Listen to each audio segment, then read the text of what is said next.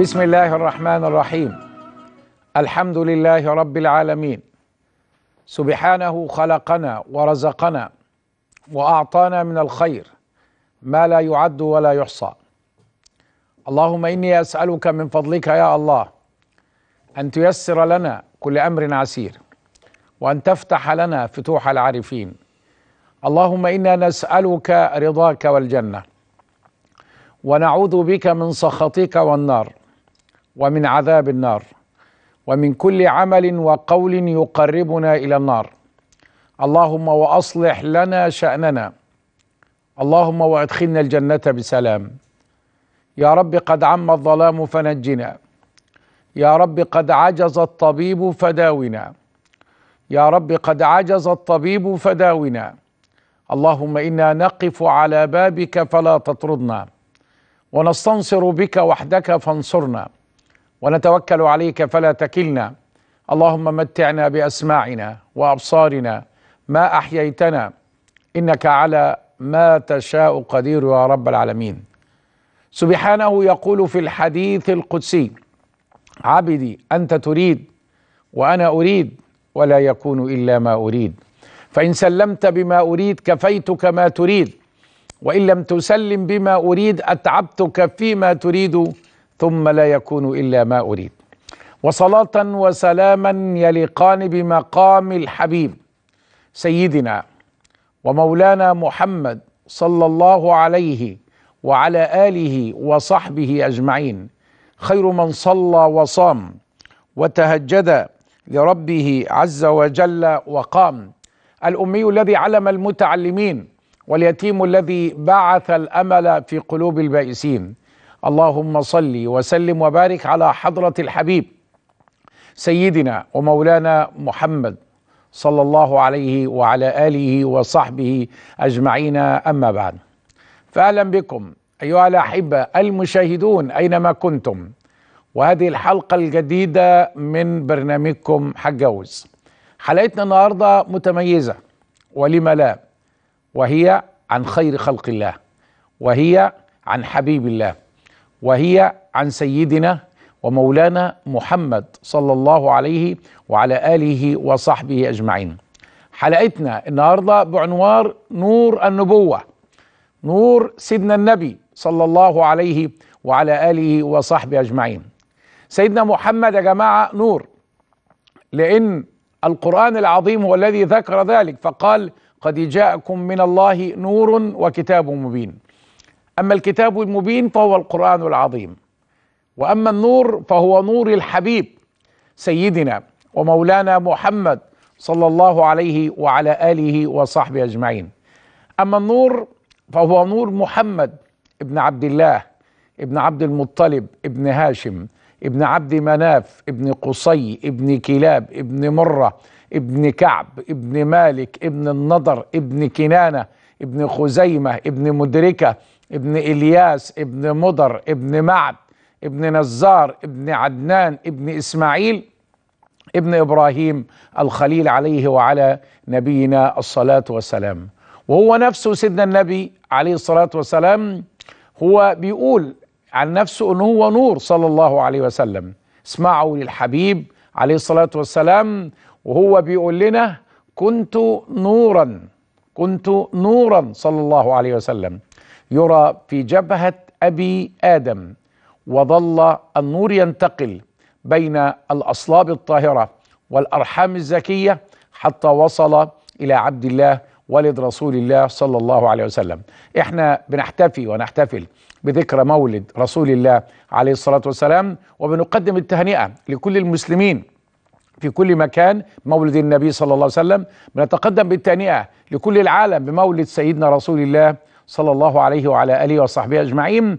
وطبعا مهم جدا كمان إن إحنا نقدم النهارده خالص عزائنا في شهداء الشرطة الذين يدافعون عن وطنهم الغالي مصر. وأسأل الله سبحانه وتعالى أن يتغمدهم بواسع رحمته وأن يلقي على أهليهم الصبر والسلوان وأن يعوضنا عنهم خيرا وأن يحمي مصرنا من شر الكائدين. إنه ولي ذلك والقادر عليه.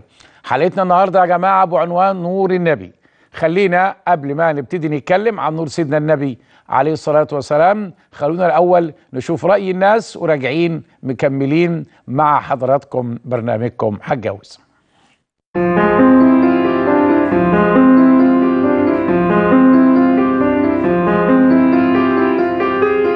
تعرف إيه عن خلق الرسول مع زوجاته وأهل بيته؟ لا الرسول قدوة ولازم نتعلم منه من ال- من الأشياء اللي كان بيعملها مع زوجاته آه، إن هو كان بيعدل بينهم ما كانش بيفرق بين أي حد في زوجاته. المشاورة بينهم وبين بعضهم هو الرسول عليه الصلاة والسلام كان عادل جدا بين زوجاته. كل الحب والحنان لأفراد ال- الأسرة وزوجاته. كان كريم الخلق مع أهل بيته ومع سيدات ومع أبنائه. التعامل الحسن. الخلق. كان خير قدوة في مع في التعامل مع زوجاته مع أهل بيته. كان الخلق الحسنة كان التواضع كان الأمانة كان الصدق كان العدل بين زوجاته. كان خلقه القرآن. كان قرآن يمشي. كان كريم في أخلاقه. إيه أكتر موقف عمله الرسول مع أهل بيته وأنت اقتديت بيه وعملته مع أهل بيتك؟ اللي هو كان بيساعد زوجاته آه، في البيت. الأدب والخلق. وحسن المعاملة والعشرة مع بعضهم والله العدل والمساواة. كان حنون وعطوفة على أهل بيته. وتعامل الزوجات بما يرضي الله. خدمة أهل بيتي. العدل بين زوجاته. مساعدة أهل بيته. يخدم بيته ويخيط نعله وثوبه. تعرفي إيه؟ عن مواقف السيدة خديجة مع الرسول. وهل في فعلا زوجة ممكن تضحي بكل حاجة عشان تقعد جنب جوزها أيوة السيدة خديجة رضي الله عنها كانت يعني مثال الخلق السيدة ال- الواقفة جنب جوزها فعلا وكانت بتسانده. ومفروض ده يبقى من الستات كلها يعني. دلوقتي والله صعب. إزاي كان بيتعامل الرسول مع غير زوجاته؟ مع غيرتهم؟ آه كان بي أفتكر إن هو كان بيدي لكل واحدة منهم تمرة ويقول لها اللي بتاخد التمرة دي هي أعز واحدة عندي. فكان بكده بيشيل الغيرة من منهم يعني. بيحاول إن هو يخلي كل واحدة هي الوحيدة اللي موجودة في عينيه. يعني هو مش شايف غيرها. كان بيواجه غيرة من خلال زوجاته بس هو على قد الإمكان كان ما كانش بيفرق بين حد فيهم يعني من ناحية الغيرة. مين أكتر زوجة أقرب إلى قلب الرسول. السيدة عائشة. السيدة خديجة. كانت السيدة خديجة. السيدة عائشة. السيدة خديجة؟ السيدة عائشة. كل الزوجات كانوا أقرب إليهم ولكن هو كان بي طبعا ستنا عائشة طبعا كان أقرب. السيدة عائشة رضي الله عنها وأرضاها. سيدة خديجة هل ممكن تتجوز أكتر من واحدة وتقدر تعدل بينهم؟ أنا؟ لا طبعا. لا طبعا. ممكن يعدل في حتة إيه؟ آه مثلا المأكل المشرب الملبس الكلام ده كله ده. إنما كمحبة قلبية لا ده دي طبعا مستحيلة. لا. ليه لا؟ إلا من رحم ربه.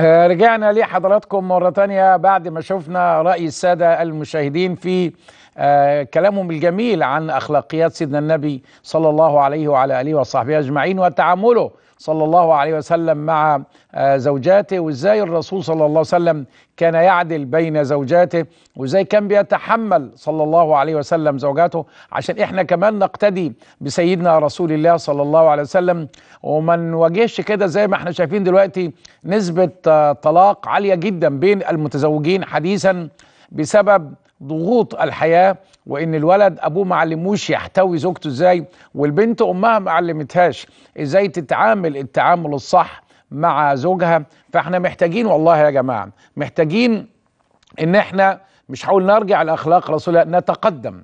من فضلكم عايزين نتقدم لأخلاق سيدنا النبي عليه الصلاة والسلام وزي سيدنا رسول الله كان بيعامل زوجاته. شوفوا المشاهد الكريم هنا كان النبي صلى الله عليه وسلم قرآنا يمشي على الأرض. كان صلى الله عليه وسلم شعاره خذ العفو وأمر بالعرف وأعرض عن الجاهلين. ربنا سبحانه وتعالى لما مدح سيدنا محمد عليه الصلاة والسلام آه ما قالوش وإنك لعلى علم عظيم أو وإنك لعلى صحة عظيمة أو حتى منصب عظيم. لكن ربنا ما مدح سيدنا محمد قال له وإنك لعلى خلق عظيم. يعني إيه؟ يعني أي حاجة يا جماعة من غير آه أخلاق آه، في هذه الدنيا لا قيمة لها إحنا بننتظر كل أسئلتكم واستفساراتكم حول آه، تعامل الزوجات مع الأزواج والعكس صحيح أيضا لو كل زوجه عندها مشكلة مع جوزها اتكلمنا كل زوج عنده مشكلة مع مراته يكلمنا وإن شاء الله نحاول أن نجد حلا لهذه المشكلة. وإحنا النهارده بمناسبة مولد سيدنا النبي عليه الصلاة والسلام بنقتدي برسول الله صلى الله عليه وعلى آله وصحبه أجمعين. بس قبل طبعا ما إحنا طبعا أحكي لكم إزاي الرسول كان بيعامل زوجاته خليني النهارده وإحنا بنتكلم عن آه، نور سيدنا رسول الله صلى الله عليه وعلى آله وصحبه أجمعين. هو بيقول لنا كنت نورا. صلى الله عليه وسلم. هو كان نور عليه الصلاة والسلام. هذا النور كان يرى في جبهة أبي آدم. وظل النور ينتقل من آدم إلى أن وصل إلى والد رسول الله صلى الله عليه وسلم. وخليني أحكي لكم يا جماعة الإمام الصالحي في كتابه الرائع سبل الهدى والرشاد في سيرة خير العباد صلى الله عليه وسلم. بيحكي لنا حكاية جميلة قوي. حبيت أحكيها لكم ونتعلم منها إيه. حكاية ست اسمها فاطمة أو امرأة اسمها فاطمة بنت مر الخثعمية.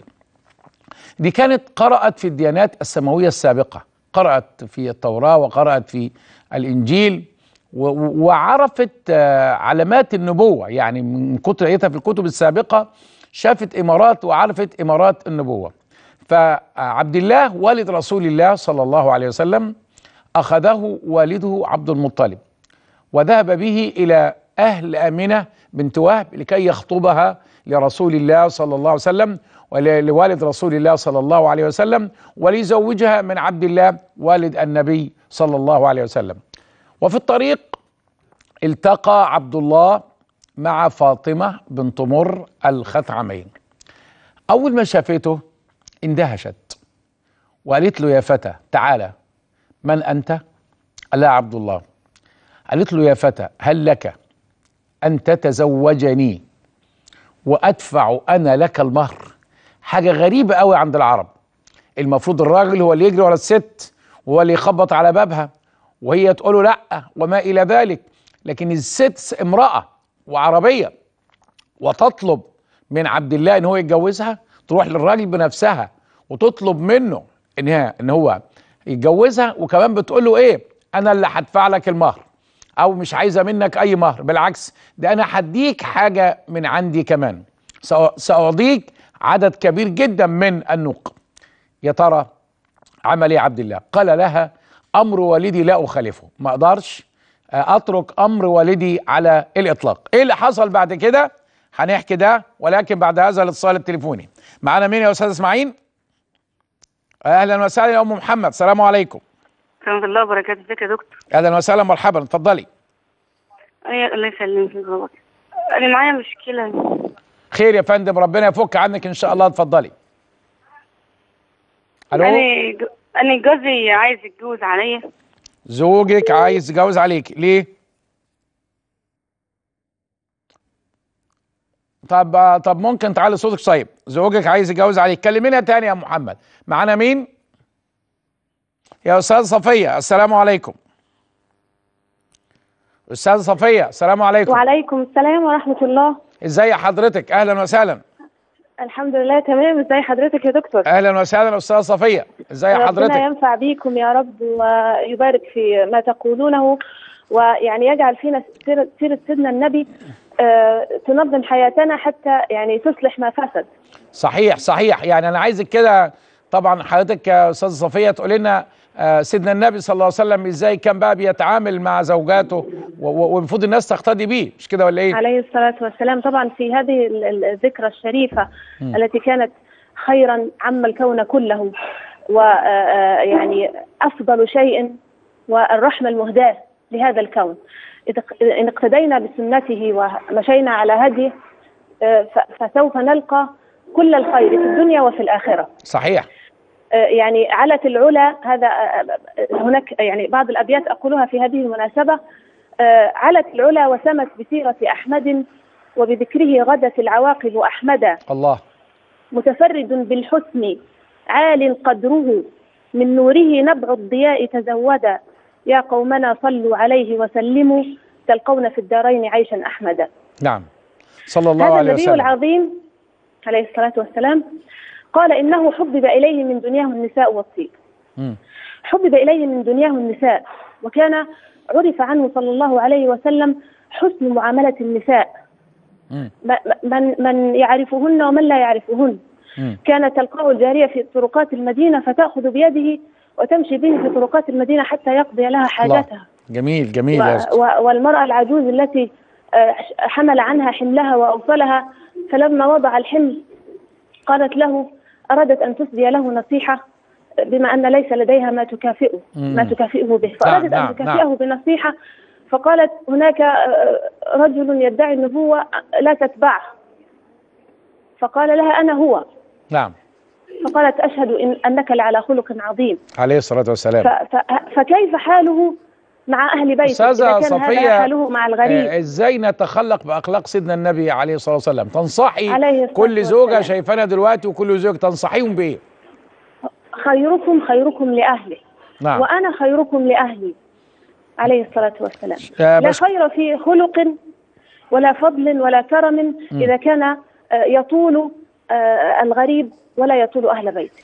إذا اشكرك كنت ذا خلق حسن وذا كرم وذا مروءة فالأولى به أهل بيتك. نعم صحيح. بس- آه، بشكرك آه، شكرا جزيلا يا أستاذ صفية. عندك سؤال ولا حاجة؟ تحب تسألينا في حاجة؟ طيب. انقطع الاتصال التليفوني. بشكر جدا أستاذة آه، صفية على كلامها الجميل يا جماعة عن سيدنا رسول الله صلى الله عليه وسلم وحكايته. الرسول صلى الله عليه وسلم احترامه للمرأة وتقديره للمرأة اما واختا وزوجة. وكان الرسول صلى الله عليه وسلم يقدر المرأة ويؤكد ويقول دائما ما أكرم النساء إلا كريم وما أهانهن إلا لئيم. وكان صلى الله عليه وسلم يقول إنما النساء شقائق الرجال. خليني هكمل ده بس بعد ما أحكي لحضراتكم آه، قصة فاطمة بنت مر الخثعمية. لما طبعا أرادت أن تتزوج من عبد الله ولد رسول الله وقد اكتشفت في وجهه نور النبوة نور سيدنا النبي صلى الله عليه وعلى آله وصحبه أجمعين. قالت له اتجوزني وأنا أدفع لك المهر. رفض وقال لها ما خالفش أمر أبي. وذهب وتزوج من آمنة بنت وهب أم رسول الله صلى الله عليه وسلم. وكان من عادة العرب زمان أو العريس يعني يزف إلى زوجته في بيت. في بيت الأهل يعني. فقعد عندها فترة عندهم فترة ثم بعد كده بقى رجع عبد الله عاد عبد الله إلى مكة. وهو في الطريق آه قابلته هذه السيدة. قابلته مرة تانية اللي هي فاطمة بنت مر الخثعميه لما قابلته آه ما سألتش فيه ولا كلمته ولا عرض عليه الجواز ولا أي حاجة ولا اهتمت بيه على الإطلاق. فعلامات استفهام كثيرة جدا كانت عند عبد الله والد رسول الله عليه الصلاة والسلام. فقال لها ما لك لا تعرضين علي ما عرضتيه بالأمس. أنت ليه ما بتعرضيش عليا اللي أنت عرضتيه عليا قبل كده؟ قالت له من أنت؟ قل لي أنت مين؟ قال لها أنا آه عبد الله. قالت له ما أنت هو؟ أنت مش هو. وأنا امرأة لست بصاحبة ريبة. يعني مش عايز أتجوز وخلاص. ولكني والله ولكني والله وجدت في وجهك نورا فأردت أن يكون هذا النور في أنا أو لي أنا ولكن أبى الله سبحانه وتعالى سبحانه وتعالى سبحانه وتعالى إلا أن يجعل نوره حيث شاء. يا عبد الله اذهب إلى زوجتك وقل لها إنك حملت بسيد الأولين والآخرين سيدنا محمد صلى الله عليه وعلى آله وصحبه أجمعين. معنا أستاذة فاطمة من الإسماعيلية. أستاذة فاطمة السلام عليكم. وعليكم السلام ورحمة الله. ازيك يا دكتور؟ أهلا وسهلا مرحبا. كل سنة وأنت طيب. كل سنة وأنت طيبة وكل أهل الإسماعيلية بخير. الناس الطيبين. الصالحين. الله يخليك الله يخليك يا دكتور. اتفضلي أنا عندي مشكلة مع زوجي والله. عندك إيه؟ مشكلة مع زوجي. إن شاء الله ربنا يحلها. ليه مشكلة؟ ليه؟ بقالك قد إيه متجوزة؟ بقالي 35 سنة. طيب مشكلة على إيه بقى؟ أكيد حفظتوا بعض يعني. مش ربنا رزقكم بنين وبنات؟ آه، ما شاء الله معايا خمسة. بسم الله ما شاء الله. ربنا يبارك لك فيهم إن شاء الله. طب إيه المشكلة بقى يا ست الكل؟ ساب المشكلة إيه؟ مشكلتي اللي هو كذاب. يعني ليه بي... إيه اللي خلاه يكذب عليكي ما أنت أكيد تلاقيكي مضايقة عليه ولا حاجة. لا والله يا دكتور والله أنا يعني ربنا يعلم. طب ما سألتهوش. ليه بتكذب عليا؟ اما برضه يكذب ما يقوليش الصراحة لا ما لا يقوليش ليه, ليه. بيكذب عليكي يعني؟ إيه اللي يخليه يكذب عليك؟ إيه الأسباب؟ مش عارفة هو كذاب هو من طبعه الكذب. طب ما يمكن بيكذب عليكي عشان يرضيكي عشان ما يزعلكيش. لا والله يا دكتور أنا يعني الحمد لله يعني لما يجاملك بكلمة كويسة ولا حاجة مفيش مشكلة لكن ما يكذبش عليكي في حاجات تانية. مم. لا هو عشته معايا كذاب على طول. وأحاول معاه وأعمل نفسي مصدقاه. آه وبعدين؟ عشان مثلا أقول الصراحة وأضحك على نفسي اللي أنا اللي أنا صدقتك وخلاص. مم. ابدا مفيش فايدة. هو هو كذاب من طبعه الكذب ويلف ويدور عليا كتير. طيب الراجل ده الراجل ده يا حاجة فاطمة ما شفتيش منه يوم كويس؟ شفت الحمد لله شفت. طيب يعني برضو دي تعدي دي يعني بس اسأليه ليه بتكذب عليا؟ ليه بيكذب عليك ما ما بقولش الصراحة يا دكتور والله. هو من طبعه الكذب. طيب ما حاولتيش تدخلي حد من عيلتك ولا حاجة في الموضوع؟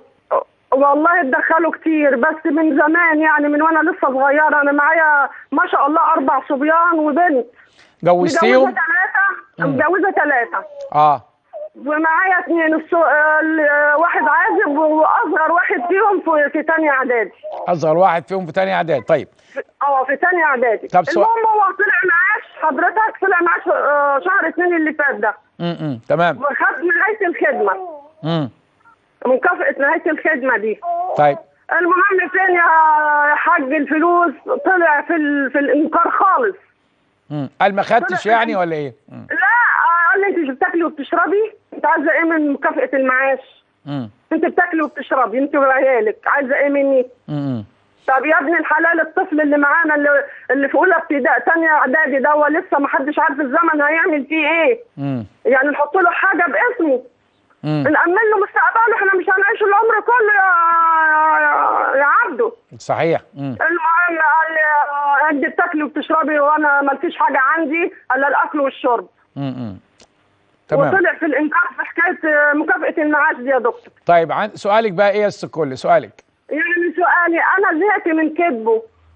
زهقت من كذبه وبيلف ويدور عليا وأعمل نفسي مصدقاه طيب. يعني اعمل إيه بقى يعني اعمل إيه معاه دوت؟ حاضر حاضر. قبل المرض يا دكتور عندي عندي السكر عندي الضغط و... وميه بيضاء على عينيا وقبل المرض في جسمي من كتر الزعل لا والمناعة. إله إلا الله. طيب حاضر. مش لاقية له حل. ربنا يشفيك ويعافيك. حاضر يا فندم إن شاء الله. شكرا جزيلا آه، أستاذة فاطمة. أستاذة فاطمة تقول لك جالها الضغط وجالها مية بيضاء آه، كل ده من الخلافات الزوجية والمشاكل بينها وبين جوزها. وإن جوزها يا جماعة كذاب بيكذب. آه، بيكذب كما يتنفس ما بيقولهاش حق- الحقيقة. هو طبعا المفروض يا جماعة الحياة الزوجية تقوم على المحبة وعلى المودة. وهجاوب على سؤال الحاجة فاطمة ولكن بعد فاصل قصير بإذن الله.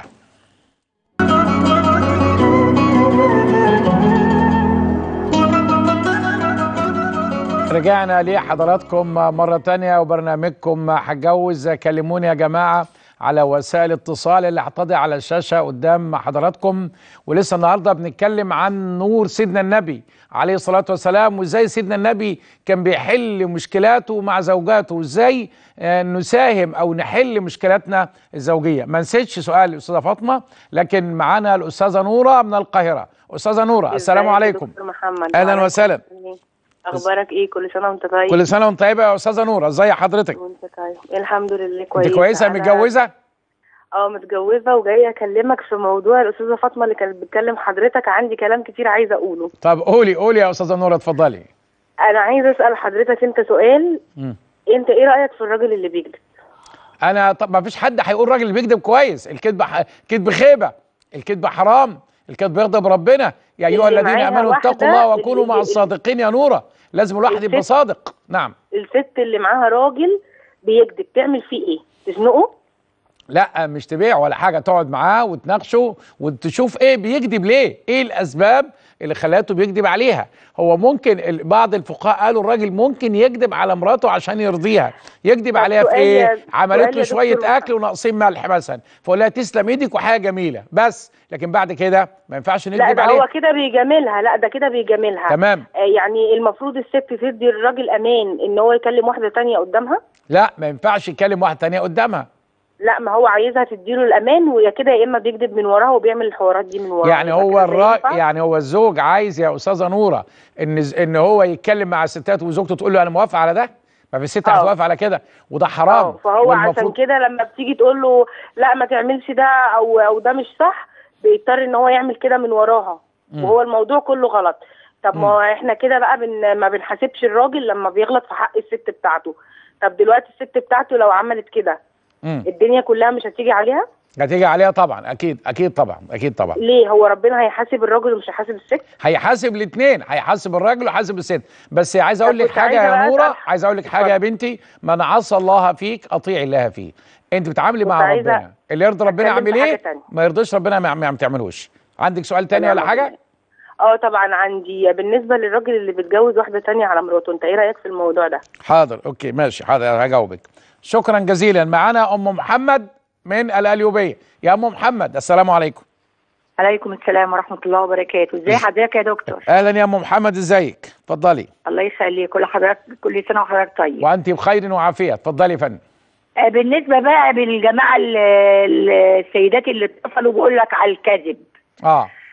فأنا برضو عندي نفس المشكلة في الكذب.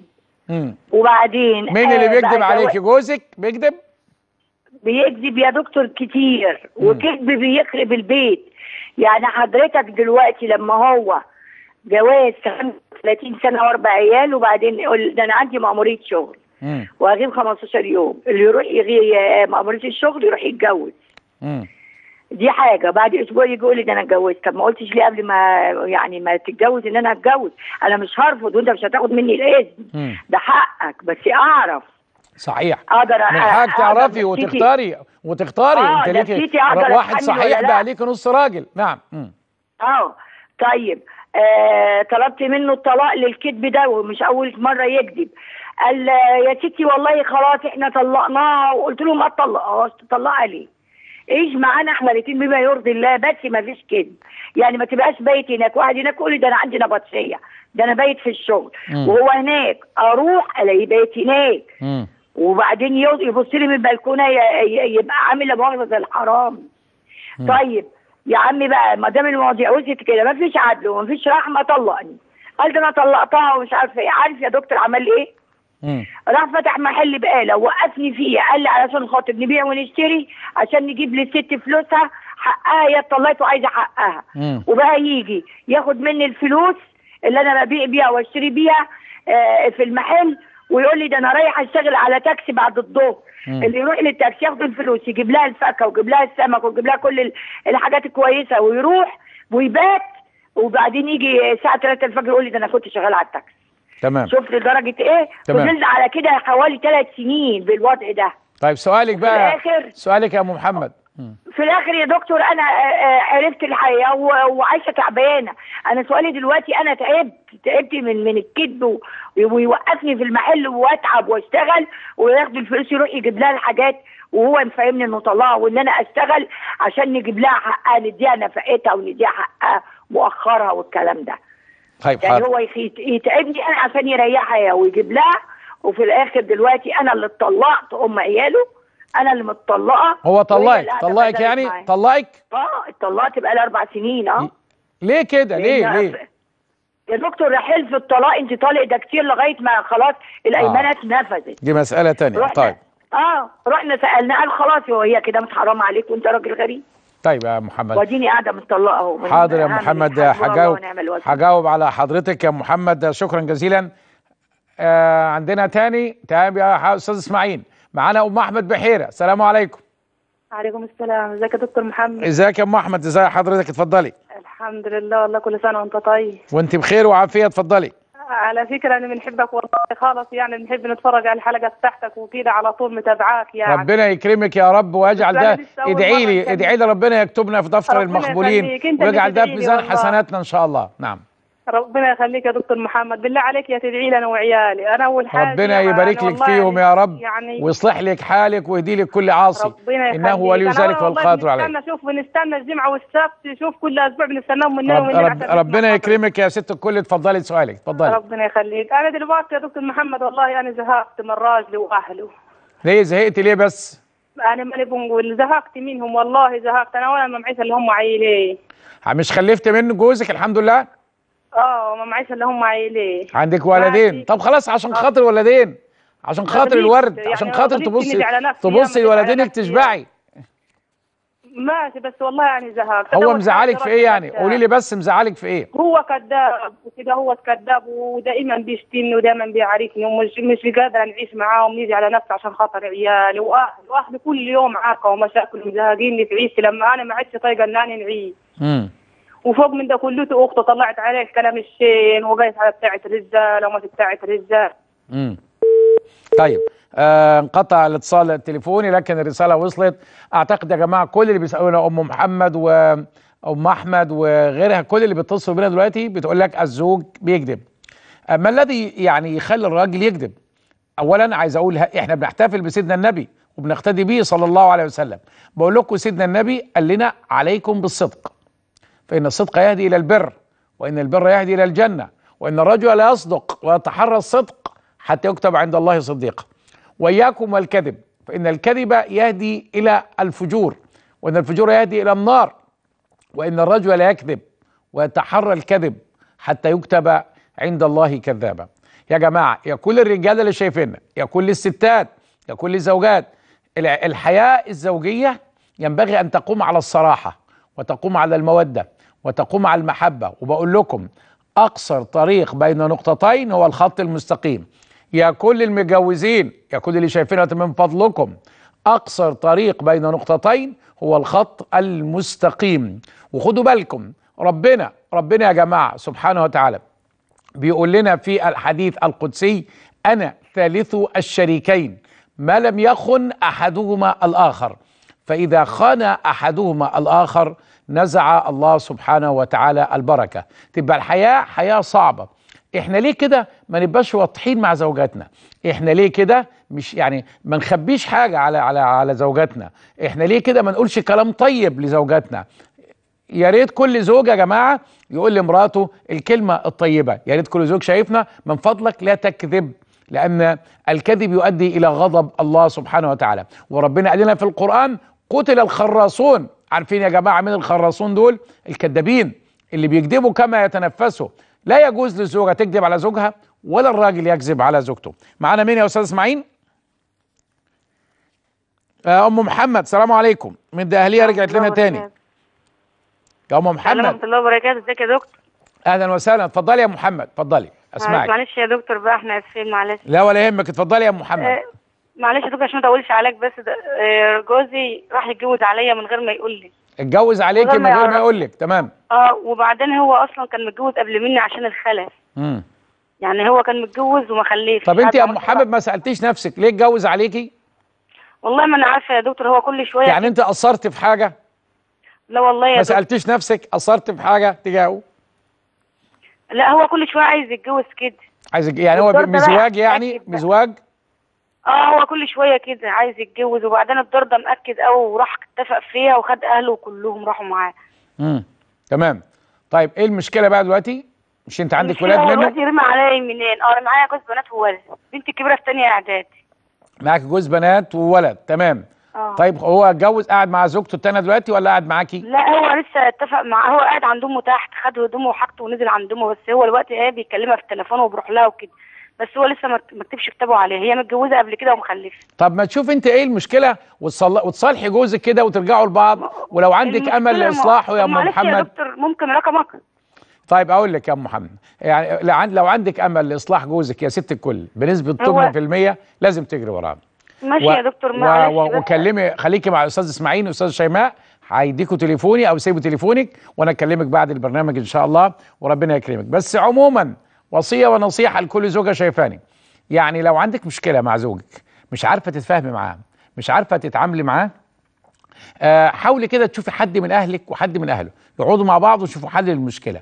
ولو عندك أمل يا ست الكل لإصلاح جوزك بأي نسبة لازم تجري ورا هذه النسبة. الخراب سهل قوي. خراب البيوت والطلاق أسهل حاجة سهل جدا. لكن يا جماعة تعمير البيت وان إحنا ننتصر في معركتنا مع الشيطان الرجيم. ده شيء يعني آه بيبقى بيحتاج إلى مجهود آه كبير آه مننا. وانتوا حضراتكم ملاحظين يعني يمكن معظم الاتصالات ومعظم الرسائل اللي جاية لنا بتشتكي أن الرجل يكذب. طب ليه الراجل بيكذب؟ ليه يا جماعة زي ما ربنا قال يا أيها الذين آمنوا اتقوا الله وكونوا مع الصادقين.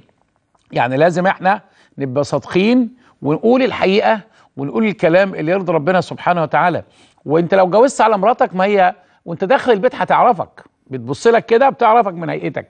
انت متجوز عليها ولا لأ؟ انت في واحدة تانية في حياتك ولا لأ؟ وده درس مهم جدا لكل زوجة شايفانا برضه. انها يا ريت يا ست الكل تحافظي على بيتك وتحافظي على زوجك عشان ربنا سبحانه وتعالى يكرمك في الدنيا وفي الآخرة. إحنا لسه متواصلين مع حضراتكم وبرنامجكم هتجوز. وبنتكلم النهارده في نور سيدنا النبي. عليه صلى الله عليه وسلم وهدي سيدنا النبي صلى الله عليه وسلم في حل الخلافات الزوجية. وعايز أقول لحضراتكم يا جماعة آه إن الأمم تحتفل بذكرى عظمائها لماذا؟ الأمم تحتفل بذكرى عظمائها للإشادة بأعمالهم ليقتدي بها اللاحقون. وحبيبكم النبي صلى الله عليه وسلم ليس في حاجة إلى تكريم الناس له بعد أن كرمه الله سبحانه وتعالى. ورفع ذكره وأعلى مقامه فمن قال أشهد أنه لا إله إلا الله لا يصح إيمانه إلا إذا قال وأن محمدا رسول الله. سيدنا النبي عليه صلى الله عليه وسلم اللي بنحتفي ونحتفل بذكرى ميلاده عليه الصلاة والسلام آه كان يكرم النساء وكان يعامل الزوجات أفضل معاملة. السيده عائشة رضي الله عنها وأرضاها لما زعلت من رسول الله صلى الله عليه وسلم كان النبي عليه صلى الله عليه وسلم يقول لها يا عائشة شوفوا اتعلموا الرجاله يتعلموا. كان يقول لها يا عائشة والله إنني لا أعلم غضبك من رضاك. يعني إمتى تبقى راضيه عليا؟ تبقى غضبانة مني. قلت له وكيف تعرف يا رسول الله؟ قال لها إذا رضيت عني قلت لا وإله محمد. وإذا غضبت علي قلت لا وإله إبراهيم. فقالت عائشة نعم إنما أهجر اسمك. لما اكون زعلانة منك أهجر اسمك. سيدنا النبي يا جماعة صلى الله عليه وسلم كما جاء في الحديث الصحيح كان في خدمة أهله أو كان في مهنة أهله صلى الله عليه وعلى آله وصحبه أجمعين. سيدنا النبي يا جماعة صلى الله عليه وسلم كان بيعامل زوجاته المعاملة الطيبة التي ترضي الله سبحانه وتعالى. سيدنا النبي كان يعي جيدا قول الله سبحانه وتعالى وعاشروهن بالمعروف. ناس كتير مش فاهمة. يعني إيه وعاشروهن بالمعروف الإمام أبو حامد الغزالي في كتابه إحياء علوم الدين بيشرح الآية بيفسر الآية. أنا عجبني بصراحة كلامه. حبيت أقوله لحضراتكم. بيقول وعاشروهن بالمعروف.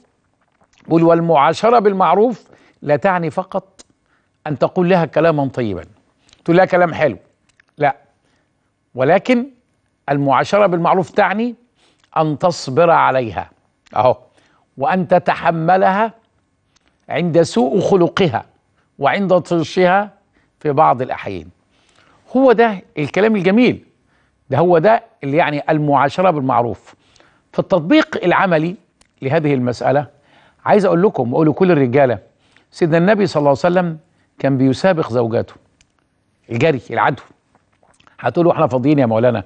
ده أنا راجل مهم ده أنا مدير عام ده أنا راجل مهم يعني قد الدنيا. معقولة اعمل مسابقة جري مع مراتي؟ آه يا أخي مش عيب. سيدنا النبي عمل كده صلى الله عليه وسلم. هل أنت مشغول أكتر من سيدنا النبي عليه صلى الله عليه وسلم؟ سيدنا النبي كان مشغول بهموم أمة ومع ذلك عمل ده. كان يسابق السيدة عائشة فسبقها وتسابقه. فكان يقول لها يا عائشة هذه بتلك. صلى الله عليه وعلى آله وصحبه أجمعين. هو ده هي دي يا جماعة أخلاقيات سيدنا النبي صلى الله عليه وسلم اللي إحنا محتاجينها. م- محتاجين إن إحنا بيوتنا يبقى فيها محبة ومودة. ومش هيحصل ده إلا إذا اقتدينا بسيدنا رسول الله صلى الله عليه وسلم. إلا إذا أرينا سيرة سيدنا النبي عليه الصلاة والسلام. إلا إذا علمنا أولادنا محبة سيدنا النبي صلى الله عليه وسلم. كل سنة وحضراتكم بألف خير. كل سنة ومصر بألف خير إن شاء الله. كل سنة وكل العالم بألف خير إن شاء الله بمناسبة مولد سيدنا رسول الله صلى الله عليه وعلى آله وصحبه أجمعين. في نهاية الحلقة أدعو لحضراتكم جميعا بالتوفيق والسداد والصحة والعافية. اللهم اطرد الشيطان من بيتنا. اللهم اطرد الشيطان من بيوتنا. اللهم اجعل سكان بيوتنا من الملائكة.